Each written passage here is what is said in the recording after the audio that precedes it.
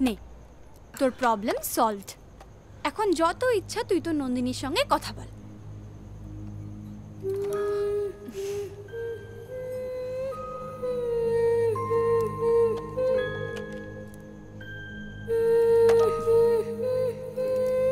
Thank you রে আমি তোকে বলে বোঝাতে পারব না আমার ঠিক মনে হচ্ছে আমি যেন না প্রাণ ফিরে পেলাম। থ্যাংক ইউ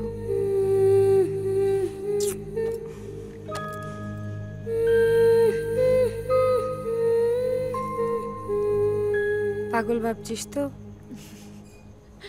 তোকে আনার সময় কেউ দেখল ফোনটা? দেখলে কি হবে? তোকে বাড়ি থেকে বের করে দেবে? আমার বাড়ি গিয়ে থাকবি? চাপ নিস না আমি আছি তো মামা। মামা? ও মামা তো হব না। আমি তো মাসি হব তাই না? শোন না নিচে তো শ্বশুর মশাইয়ের সঙ্গে দেখা হলো। বাবা যেভাবে আমায় দেখছিল না? এই হাতে তো একটা আঙুলো বাকি নেই রে সব কটা আঙুলো আংটি। জানি। তুই কিছু খাবি? অফিস থেকে এলি তো। না না আমি কিচ্ছু খাব না। শোন না আমার কি মনে হয় জানিস যে এই ধরনের মানুষরা না একটু মোটা দাগের হয়। মানে চেঁচামেচি করতে পারে ঝগড়া করতে পারে কিন্তু এই রকম শয়তানি বুদ্ধি না ওনার মাথায় আসবে না।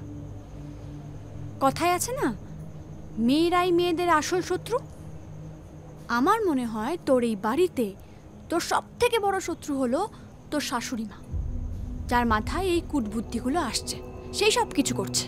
আবার আমার আর একটা জিনিসও মনে হচ্ছে মানে পাড়ার প্রতিবেশী কেউ বা তোর আত্মীয় স্বজন কেউ তোকে সাবধান করতে চাইছে যে তোর শাশুড়ি মাকে হাড়ে হাড়ে চেনে। তুই তুই টেলিফোন এক্সচেঞ্জে গেছিলি ওরা কিছু বলতে পেরেছে? পাখি গিয়েছিল এক্সচেঞ্জের প্রিন্টার খারাপ। তাই নেক্সট উইকে যেতে বলেছে। কি জানে?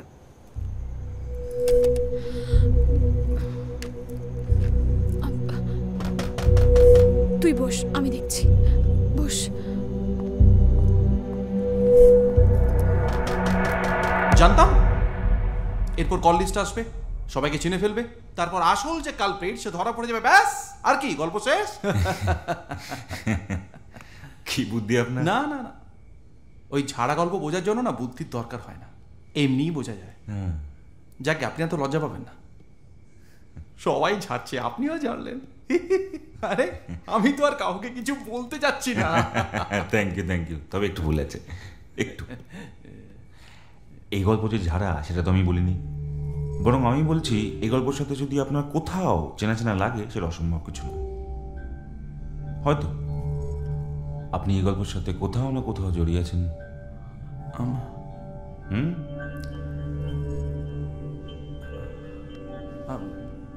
যাকে ছেড়ে দিন। হুম আপনি ওষুধটা খেয়ে নিন গল্প তো প্রায় এমনিতেই শেষের দিকে।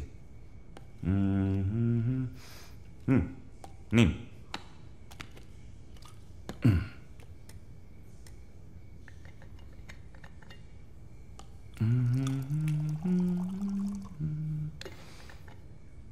নিন